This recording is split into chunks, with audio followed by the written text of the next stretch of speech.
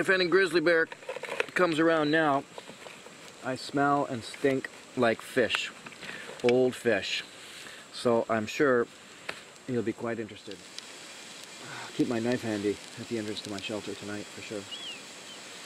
Not that that's going to do a lot against a massive grizzly bear, or a 600 pound black bear for that matter.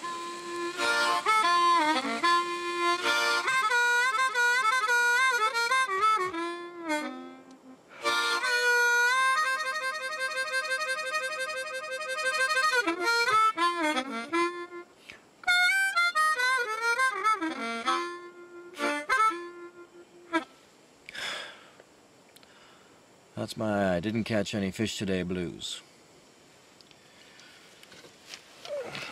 Good night.